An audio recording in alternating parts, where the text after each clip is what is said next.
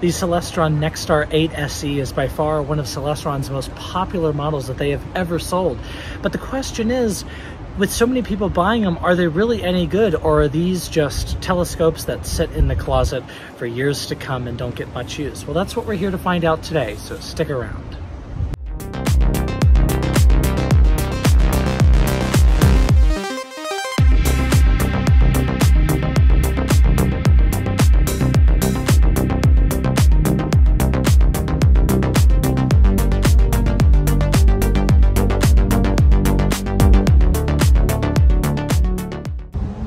As always, thank you so much for joining me. My name is Max and welcome to my channel. If you're not already a subscriber, please do subscribe. It helps me out and also helps me create more content for you guys in the future. As always, do comment below and let me know what you want to see in the future, what types of telescopes or targets you want me to shoot with astrophotography. I'm always willing and open for ideas. Now today we're checking out the Celestron 8 SE, which is right here. And this telescope is one of Celestron's most popular models that they have ever sold. In fact, it continues to be even to this day, even though it has been replaced with a newer generation one-arm fork mount called the Evolution, the SE lineup still lives on to see even more night skies. Now, this is just a single arm fork arm design from Celestron, and this just has a motor in the base, a motor up here on the left side of the fork arm, and then your optical tube slides on and off a Vixen style dovetail rail. Now, this mount is capable of holding up to a 12 pound optical tube, so you can put anything from a refractor on here, a Maksutov Cassegrain up to about six inches or so. You can put up to an eight inch SCT since these are right around the limit of the 12 pound mark, or you can use this for even a solar scope if you have a nice dedicated solar telescope that you want to put on here. Now the Celestron 8 SE is their classic 8-inch Schmidt Cassegrain with their Starbright XLT coatings. The C8 is one of the most versatile telescopes out there, and being a longtime owner, I know a thing or two about a C8.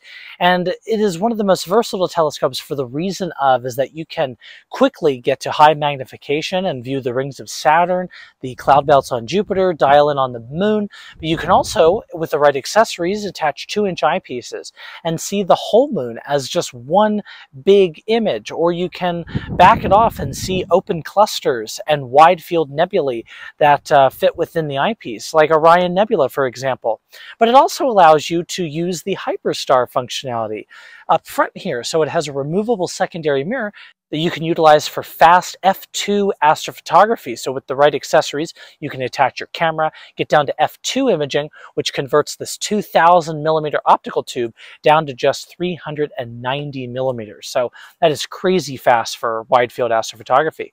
Now, this Altaz mount is not suited for astrophotography, except if you're going to do something like the moon or the planets because this is an altazimuth design, which means it has a motor going up and down and a motor going left and right. You'll want an EQ mount if you're going to do long exposure astrophotography, or at least that's what a lot of us suggest. Of course, you can get around that by doing really short exposures, but you're going to have to take a lot of those in order to create a composite that's good enough. But then you're also going to introduce a thing called field rotation when you use an altazimuth mount. So as it tracks up and around the sky, if you'll notice on something like Sky Safari or a planetarium program, when you zoom into Jupiter or Saturn, it'll start at one angle and it'll slowly rotate like this throughout the night. That's simply because of the rotation of the Earth. We're looking at it because we are tilted on an axis. As we track across the night sky, that angle changes simply because of our tilt. Now, an EQ mount, though, when you polar align it, you polar align it at your altitude and it gets rid of that rotation, which is why a lot of us use EQ mounts. Now this little telescope though is absolutely fantastic. It's about 1500 bucks. It is a little bit up there in the price range of beginner telescopes, of course. So you may want to consider one of the smaller counterparts, like maybe the 5 inch, that is just under a $1,000 if you don't want something this big. Now, this does feature Celestron's Nexstar Plus hand controller with 42,000 objects inside its database. That is wonderful and fantastic. Just be realistic though, you will never see all of those objects, but it will show you all of the catalogs of objects that you need to absolutely see with an 8-inch telescope. This is the USB style. Some of the older ones had the older serial style. Doesn't matter which style that you have if you're getting a used one off of Facebook Marketplace or something like that. They're all basically the same thing. They're all all going to point to the same type of target. So don't be afraid if it doesn't have the latest and greatest, because you can also upgrade to the newer style if yours happens to fail. Now this tripod that is supplied with the 8SE is kind of on the lighter weight end of the things. So this optical tube, like I mentioned, is on the very edge of what this mount can take.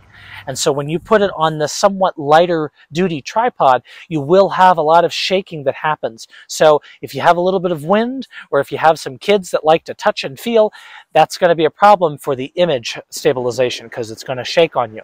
As well as if you put some high power eyepieces in here, and the minute you turn that focuser, because you're touching and introducing a new vibration, it is going to shake the image just a little bit, unfortunately.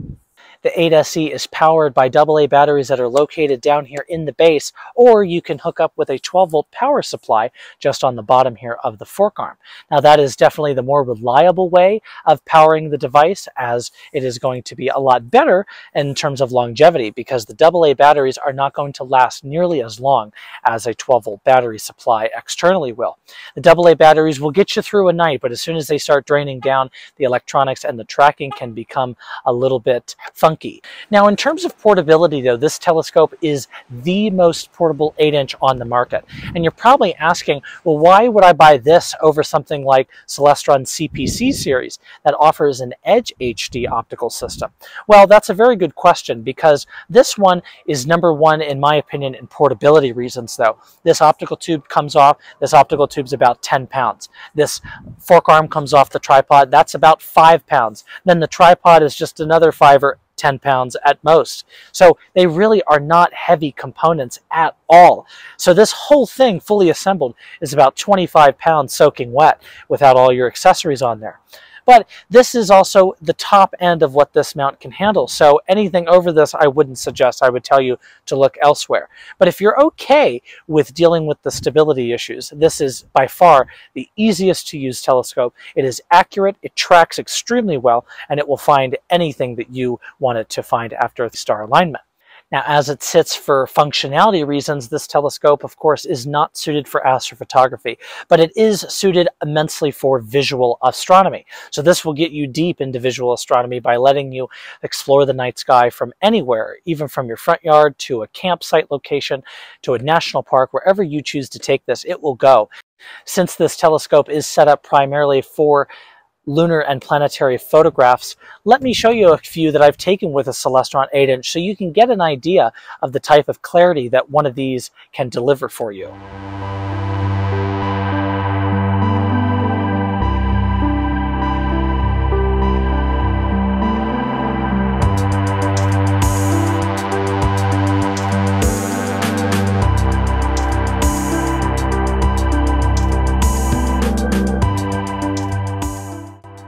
All in all, I think that the Celestron 8 SE is a fantastic choice for those who want something that is a perfect grab and go, but with a large aperture, or if this is your first telescope and diving deeper into the hobby of astronomy.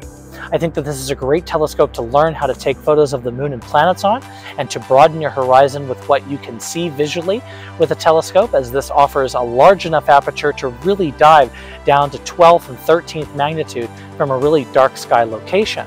I do have to say that the instability does really affect image quality sometimes. So if you are out on a gusty night, don't expect to see as much as a nice, clear, stable night that is calm, that doesn't shake your telescope. Now, with that being said, for a couple hundred dollars more, of course, you can upgrade to the CPC series or even the Evolution series, which will offer far substantial stability for you. But at the end of the day, for a good budget telescope, this is one of the best on the market. You just have to be okay with its shortcomings. As always, thank you so much for joining me. I'll see you next time in the video, and clear skies to you.